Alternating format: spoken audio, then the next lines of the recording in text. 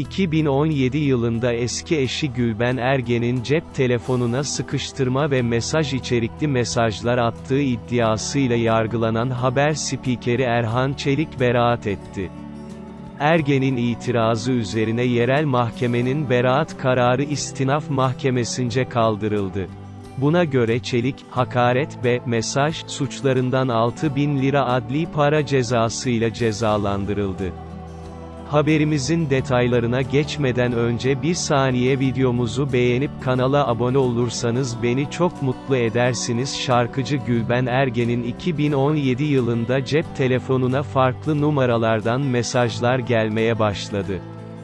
Bunun üzerine Gülben Ergen, avukatları Altın Mimir ve Emek Emre aracılığıyla İstanbul Anadolu Başsavcılığına suç duyurusunda bulundu. Savcılık tarafından yapılan soruşturmada Gülben Ergen'e mesaj atan numaraların eski eşi Erhan Çelik'in asistanı Seda Kurtulmuş ile şoförü Harun Güçlü olduğu tespit edildi. Bunun üzerine İstanbul Anadolu 5. Asliye Ceza Mahkemesi'nde dava açıldı. İstanbul Bölge Asliye Mahkemesi 11. Ceza Dairesi'nde ele alınan dosyada, Gülben Ergen'e yönelik mesaj ve hakaret suçlarını işleyen kişinin Erhan Çelik olduğuna karar verildi. Sanık Erhan Çelik hakkında verilen beraat kararını kaldıran İstinaf Mahkemesi, Çelik'in mesaj ve hakaret suçlarından 6 bin lira adli para cezasıyla cezalandırılmasına hükmetti. Mahkeme Çelik'in bu cezasını hükmün açıklanmasının geri bırakılmasına karar verildi.